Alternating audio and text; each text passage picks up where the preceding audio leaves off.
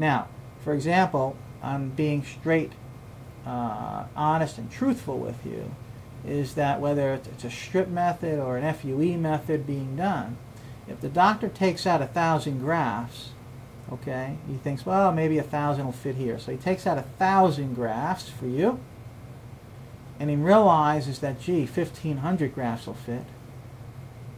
Most, most physicians will not go back into the donor, take the time to take out those grafts and put them in. It's unfortunate and it's sad, but that's the case. However, with the Lexus procedure that I'm offering my patients, okay, that mistake, that judgment error can never be made. You see, when you make the recipient sites first, you know exactly what you need. There is no question, no doubt. You see.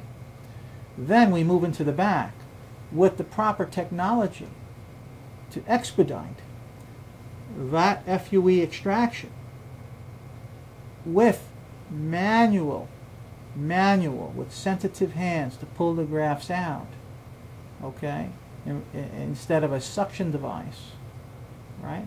Now again, remember, I'm not saying the fully automatic system is not acceptable. It is acceptable.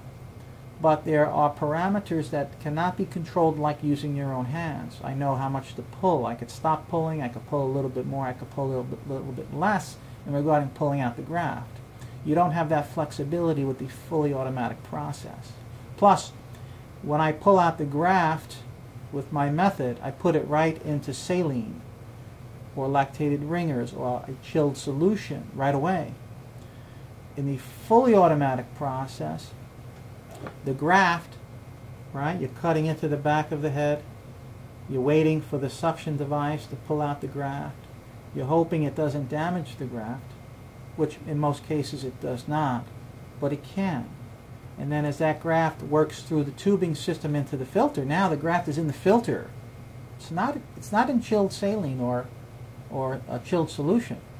It's, it's, fil it's in a filtered device which has to be checked periodically because they can dry out. Okay?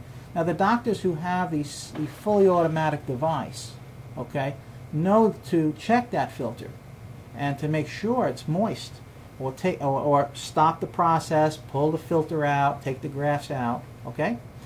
And make sure the tubing is sterile, everything is clean, okay? They ought to do that or they should know to do that. Now the question I have is what if that tube was not sterilized? What if the filter wasn't? What if it wasn't replaced? What if the filter was not checked in time and all of those grafts are dry? When a graft becomes dry, it dies. You see? So there's more variables to watch for. And the control element is not, not as strong. Okay? Now again, I, I want to Uh, say that the fully automatic method is okay, and it is. Okay?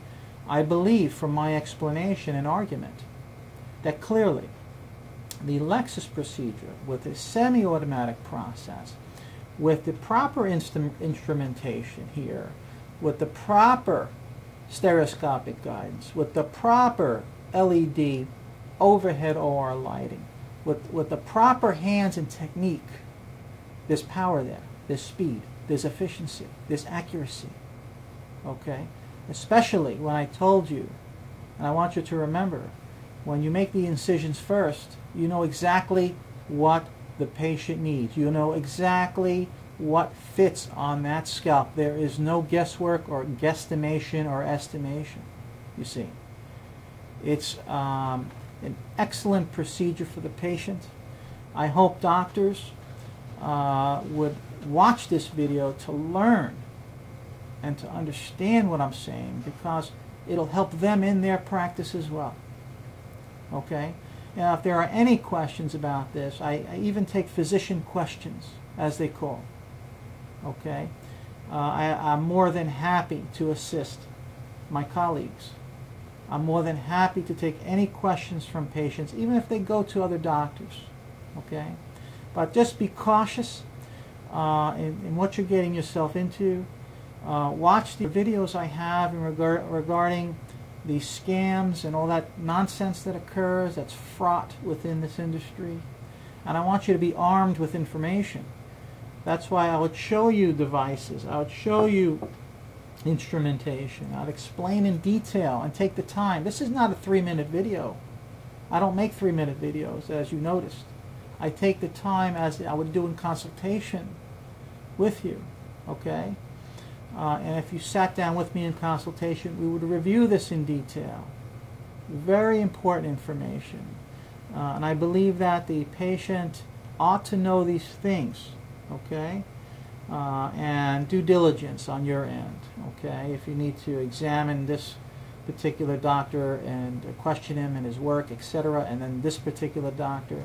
And again, I warn patients never ever make the decision right on the spot. Don't let the doctor force you into a position. That, that I again discuss in the unfortunately titled, I say unfortunate, uh, the hair transplant lies, fibs, and fables video that I produced. There's two parts, part one and two.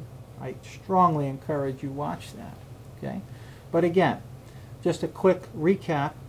Uh, the strip method will be obsolete. Uh, the reason why it's not is because it's becoming cheaper and cheaper.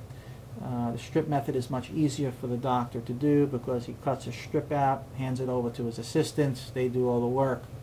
When we move into the follicular unit extraction arena, okay, and we discuss three techniques. Again, the manual, right, the manual technique, semi-automatic that I discussed with the Lexus procedure, and the fully automatic where it has this device and a tube and a filter. That FUE technology really is the future. Okay, that's today really. It should have been yesterday. Okay, and the strip method should have been out of the picture. Okay, um, that basically covers it, just a rough overview of uh, the Lexus FUE procedure. And it, again, reviewed briefly the strip method. We discussed the follicular unit involving a manual, semi-automatic, which includes my procedure, the Lexus procedure, and the fully automatic. We discussed the pros and cons, right, advantages and disadvantages of each procedure. Uh, if I had more time, we would discuss more elements of it, okay, but we can do that in consultation, or I'll put it in print ultimately. Uh, you'll see that uh, we'll always update our website, uh, print and um, content material for you uh, so you can get a better understanding of these uh, issues. And uh, let me leave you off with that. Again, if there are any questions, you can call at any time. You can email us. Never a problem. We have the time for you.